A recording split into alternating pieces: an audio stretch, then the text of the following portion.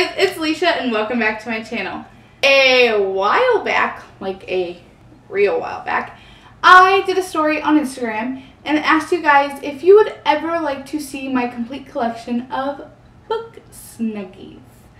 And you said yes.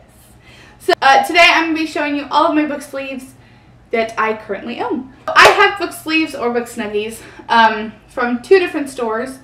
I have them from a very, very dear friend of mine who doesn't really make them much anymore since she had a baby.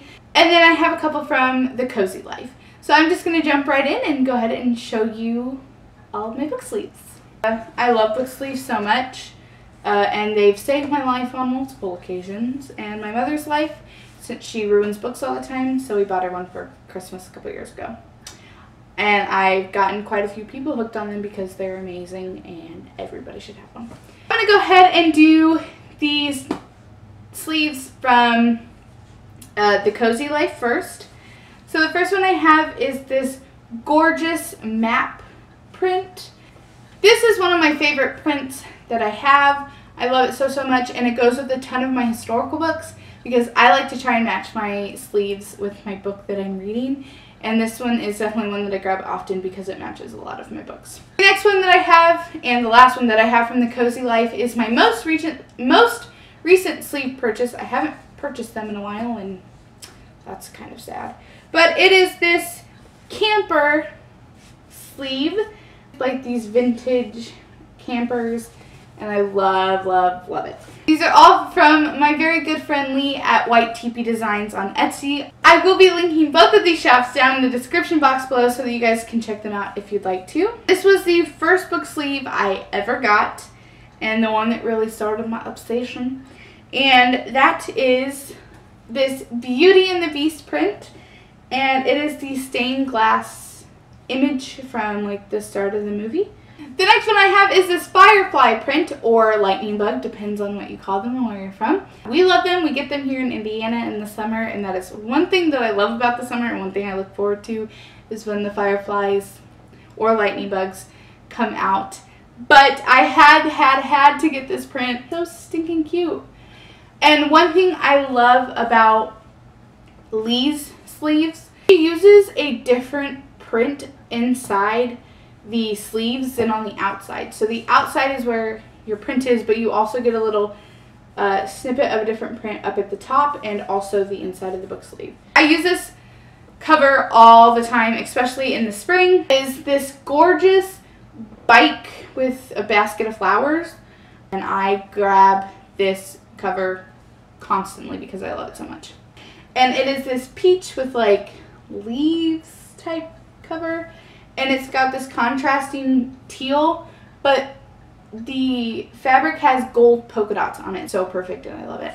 She said she went to the fabric store just for me and saw this print and knew that I needed it because uh, I was super bright and cheery.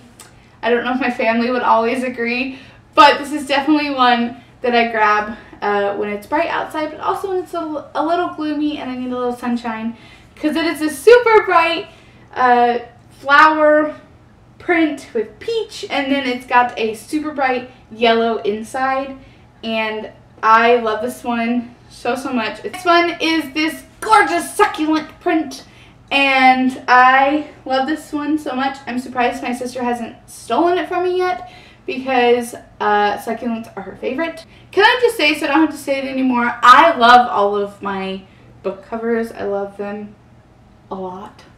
The next one, again, I'm surprised my sister hasn't taken it from me, is this succulent one. Super, super, super cute. And then it has this contrasting polka dot taupe lining.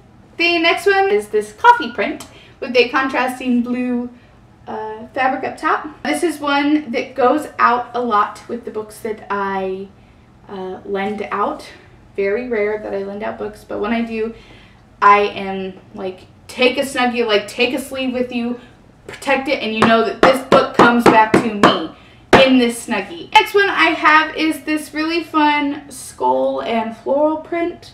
It is very rustic, and then it has a pink polka dot trim and inside.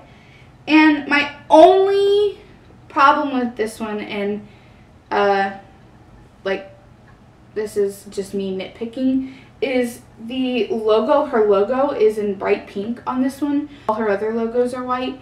Um, but the pink is just so bright pink. That's not taking anything away from the Snuggie. This cow print and it has a contrasting like uh, blue bandana paisley type fabric. Fun fact, Alysha loves cows like a lot. I always kind of wanted a cow. This is a cover I grab all the time because I read a lot of Western historicals and quite a few contemporaries that have cowboys in it. The last Snuggie I'm going to show you is one that again I grab all the time. Pictures to hold on.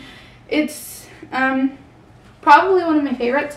It was actually a custom one done for me. I asked Lee to see if she could like look around and find this print for me and if she would if she would make me one.